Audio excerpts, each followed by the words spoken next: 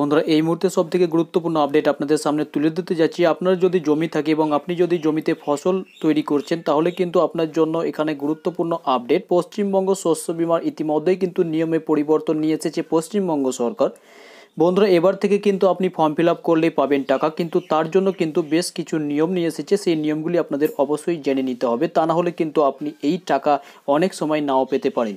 চলুন বিস্তারিত জেনে নেব। তার আগে যদি আপনি এই চ্যানেলে নতুন হয়ে থাকেন, অবশ্যই চ্যানেলটিকে সাবস্ক্রাইব করে নিয়ে পাশে পাওয়া বেল আইকনটি ক্লিক করে দেবেন। এই ধরনেরই লেটেস্ট আপডেট তাছাড়া বিভিন্ন ধরনের চাকরির লেটেস্ট আপডেট সবার আগে পাওয়ার জন্য। বন্ধু, দেখুন, এতদিন অনেক জায়গায় এমনই থেকে গেছে যে সমস্ত জায়গায় ক্ষতি হয়েছে, ফসল নষ্ট হয়ে গেছে, অথচ কিন্তু বিমার টাকা পাওয়া যায়নি। কিন্তু এবার থেকে সেটি হবে না বন্ধুরা। তার জন্য সরকার কিন্তু তাদের নিয়মে পরিবর্তন এনেছে। দেখুন, এখানে বলা হয়েছে বাংলা শস্য বিমা প্রকল্পের ক্ষতিপূরণ নির্ধারণ হবে স্যাটেলাইটের সাহায্যে। বন্ধু, দেখতে পাচ্ছেন, এবার থেকে কিন্তু স্যাটেলাইটের সাহায্যে আপনাদের ক্ষতিপূরণ সরকার নিজের চোখে দেখবে এবং সেই ক্ষতিপূরণ দেবে। দেখুন, বলা হয়েছে বাংলা শস্য বিমা প্রকল্পে এবার আধুনিক প্রযুক্তি নির্ভর হচ্ছে, সিদ্ধান্ত হয়েছে শস্য বিমার ক্ষতিপূরণের পরিমাণ নির্ধারণে দেশের মহাকাশ গবেষণা সংস্থা ইসরোর সাহায্য নেওয়া হবে। ইসরোর রিমোট সেন্সিং স্যাটেলাইট বা দূর সঞ্চার উপগ্রহের মাধ্যমে নেওয়া হবে ছবি। ব্যবহার করে শস্য বিমা প্রকল্পের কৃষকদের ক্ষতিপূরণ নির্ধারণ করা হবে। দেখুন, সেখানে ছবি নেওয়া হবে এই স্যাটেলাইটের মাধ্যমে এবং আপনাদের ক্ষতিপূরণ কিন্তু নির্ধারণ করা হবে। সম্প্রতি নবান্নে কৃষি দপ্তরের শীর্ষ আধিকারিকের বৈঠকে এ ব্যাপারে নীতিগত সিদ্ধান্ত নেওয়া হয়েছে। বন্ধুরা দেখতে পাচ্ছেন যে আরও কিন্তু ঠিক হয়েছে। ক্ষতিপূরণ নির্ধারণে রাজ্য কৃষি দপ্তরের আবহাওয়াগত তথ্য ও পরিসংখ্যান ব্যবহার করা হবে। রাজ্যের বিভিন্ন জেলায় কৃষি দপ্তরের প্রায় দুশোটি আবহাওয়া কেন্দ্র আছে।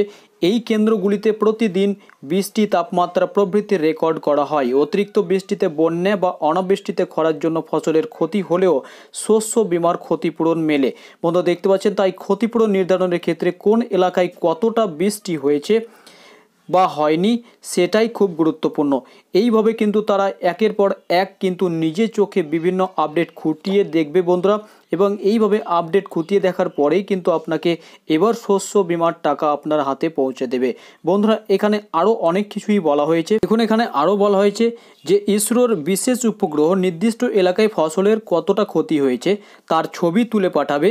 ফসলের অবস্থার গ্রাম ভিত্তিক ছবি তোলার ব্যবস্থাও এতে আছে।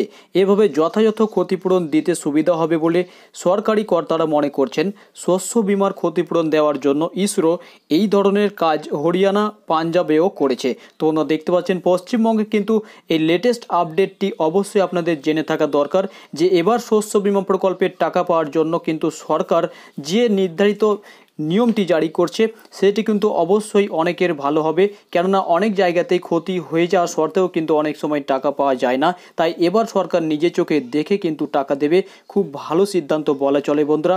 আপনাদের কেমন লাগল?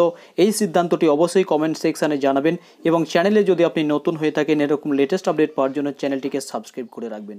ধন্যবাদ, সাথে থাকার জন্য।